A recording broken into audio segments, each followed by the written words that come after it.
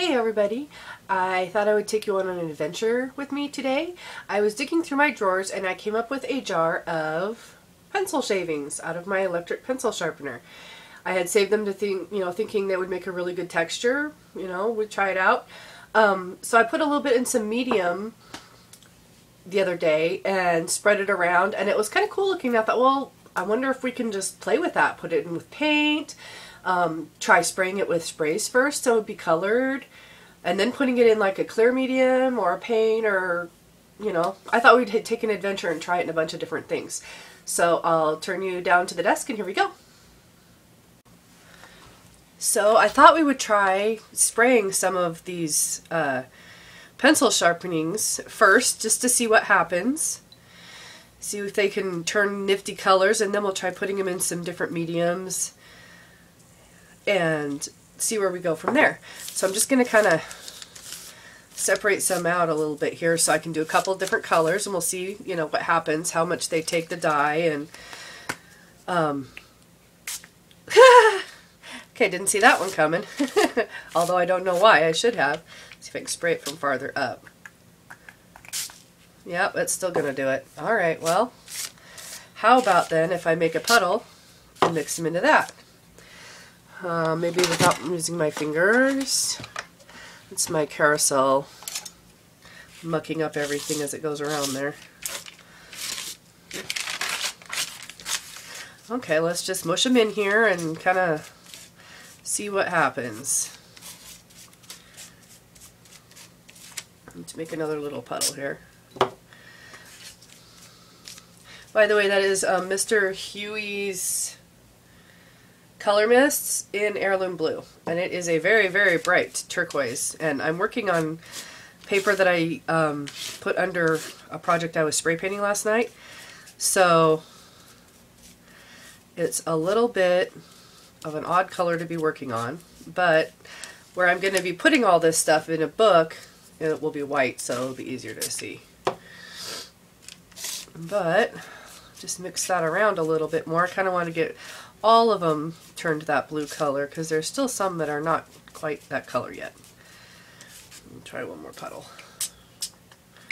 There. That particular Mr. Huey's, I've had a little bit of trouble with that particular color, the heirloom blue, um, wanting to spray funny or kind of be clogged. And it's you can tell it's leaked all over itself, and I don't know why. Okay, well those are probably about good enough there. So let me clean off my palette knife here and we'll do the same thing with some of these yellowers and see what happens there. I'll just make a nice puddle, sort of squinch them in.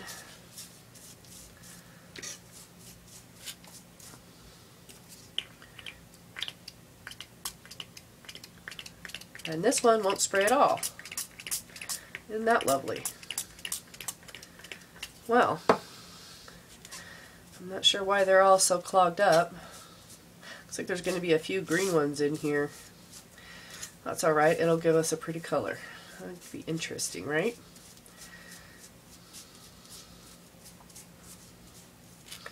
Okay, that looks pretty good. Now, I think I should scrape those onto something here to work with. Let me get out a couple of little palettes to work in.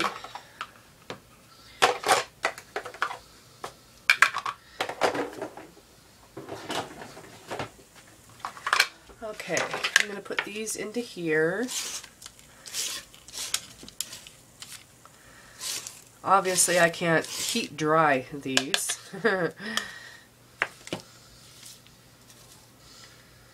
so we'll set that aside for just a minute and talk about what we're going to do.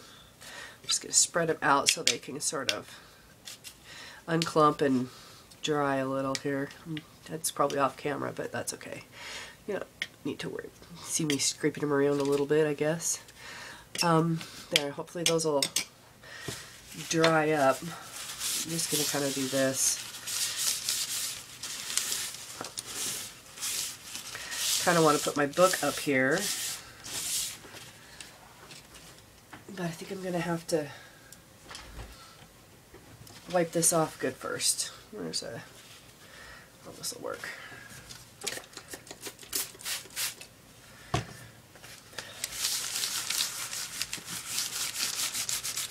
And the Mr. Huey's, once they're dry, they're permanent. Um, so if you can actually get them to spray, which I haven't had trouble with them until now, so maybe it's just because I haven't used them in a while. Um, they, once they're completely dry, then they don't come back up when you do stuff. So, okay, let's try paint. This is Liquitex Basics Light Blue Permanent. I'm just going to splurch a little bit into the container there. And I have these wonderful little palettes um, that come in a whole system. So there's these, these, and there's like a big tray that's on top, and then there's um, these two ones that are all underneath of it. And then you could, of course, take all of them out and use the bottom as a really deep palette. So that is pretty cool. I did a review on that um, on one of my other videos. So if you're interested, this you see if you can see in there. This has pencil shavings in it already. This is the last little bit I had of um, golden regular gel gloss. And um, I stuck some in there the other day to check it out. And so we already have a blob in there. I'll just scoop a little bit out and stick it in here. And I thought we would take another little glob out and stick it over here and then see how much pencil shavings we can get in that and still make it like, you know, movable. See if we can make it like really thick with them. And I think we should try some gesso just for grins and see what that looks like and how it takes paint and stuff. So there's that. This is just more regular gloss in case I need it. Um, Let's try Collage Pauge. I mean, if we're going to try everything, why not?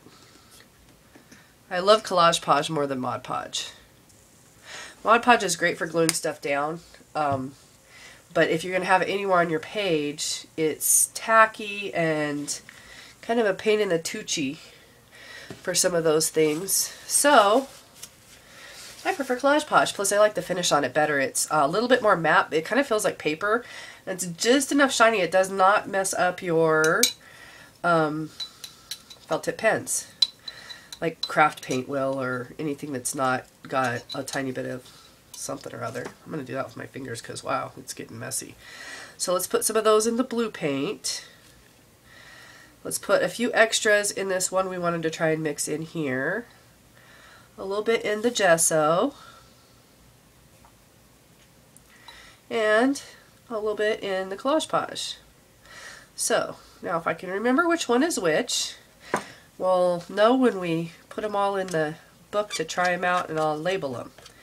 So let's just mix these up. I think that um, there could be a few more in there. I think that would be good. Let's drop some more in. Just going to stir it all around. This is going to give a really interesting texture. I haven't seen anything that has this texture. So let's try it out and see. Here's the gesso.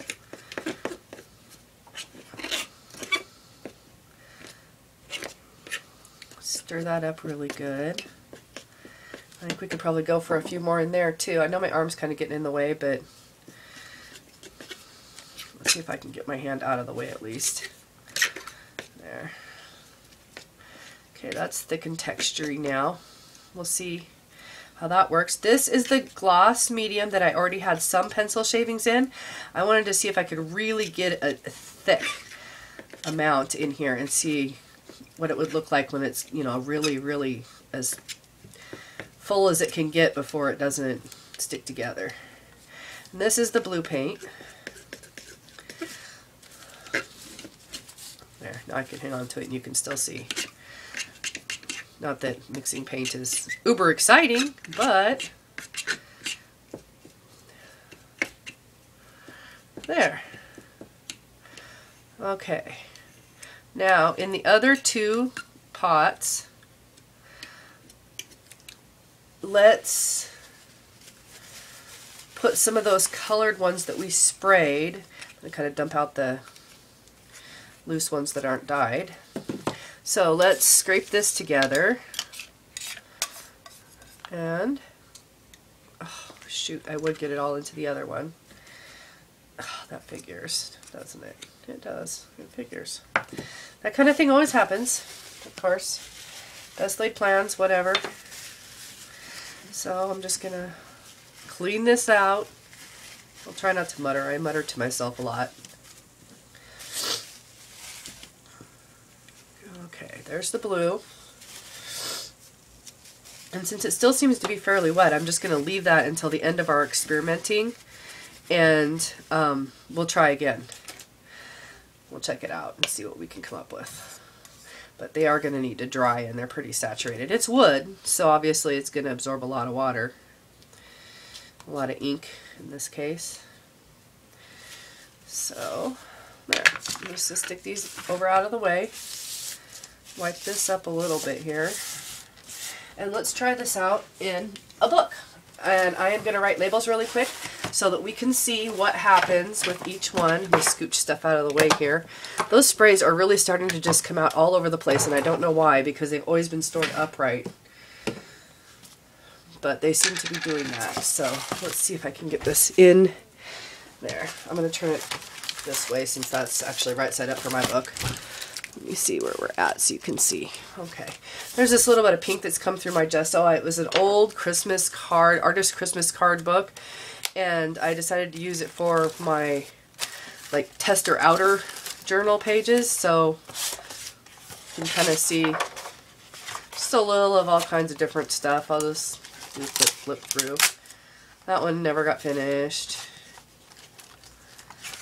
So I mean there's just it's it's places it's a place where I have explored and just mucked stuff up freely because it is an unstable book when I decided to use it as a journal, I did not stop to realize that this had a glue binding. So it wasn't sewn in like signatures. So as I've worn it and used it, the pages are coming out. So watch out for that when you decide to use something for an art journal. I have since learned my lesson and, and no longer do that. Okay, I digress. Let's Okay, we have gloss, medium, with some shavings. We have gloss, medium, lots of shavings. Um, we have blue paint. And gesso. And collage. Podge. And then we have blue ink and yellow ink. Okay so we've got a spot so we know what all, what all they're gonna do. So let us give this a whirl. Kind of looks funky, huh? I kind of wanted to see how this would work because it's there's not as much in this one to see, you know, like the texture once it's done. Get a thing for my knife here. Okay. This one should have a lot more like texture you know, you should be able to feel it a lot more once it's spread out because it's so, you know, there's hardly as much medium in there as there is the other one. There's a lot less medium. So that gives us kind of a blob to work with there.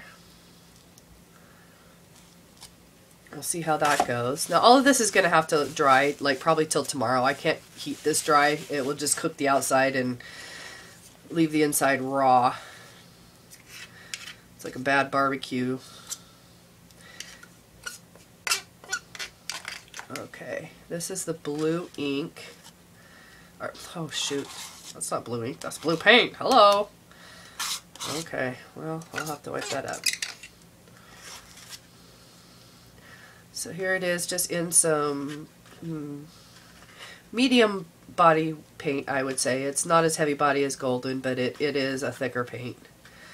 It's not watery like your craft paints or the cheaper tube paints. Art Advantage is very, um, very thin and less pigmented paint. So if you're going to buy cheap paint, I can't recommend um, Art Advantage, but I do recommend Liquid Liquitex Basics and Blick uh, Studio Acrylics. Okay, this is gesso. And we've got a little streaks of color going on in there.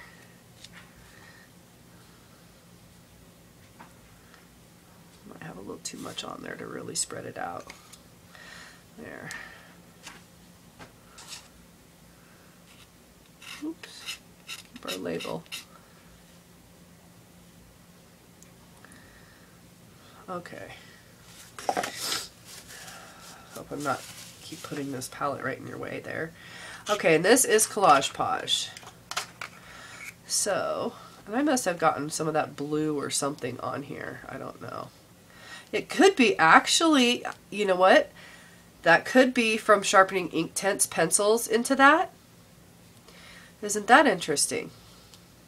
Because the whatever is, it's not just the wood there, it would also be the lead. So if there was um, either Inktense or watercolor pencils that I sharpened in there, that might be why we're getting these, you know, really cool colors. And of course I just smeared it all over the label. Good one. Okay. I have to, there. We'll just kind of see how all of this turns out. And I am going to try to wipe up the blue from where I was supposed to put the ink. This page was gessoed already, so that's why I can do this. If it hadn't been gessoed, mm, that wouldn't work. Get another paper towel. I'm just dipping it into my rinse well to get it my rag wet. I love my rinse well, which is this. And you push the button and the water goes out and you get fresh water. And it works awesome. Saves me a gazillion trips to the sink. I still have to make trips to the sink, but just not nearly as often. Okay. Now, I really would like those to dry out a little bit before I put those on. So while this stuff is drying, I'm going to let those dry out. I'll come back for a little blurb to put some down with, um, I think I'm going to use gloss medium, I think, but we'll see. So I'm going to let these little guys dry in here while this stuff dries and sets up. And I'll come back halfway through so we can put those on and then let them dry until tomorrow. And I'll come back tomorrow and we'll look at all the texture and how these worked and what works if we put paint over. We'll just make some more adventuring. So I will see you on the next little chunk here. Bye.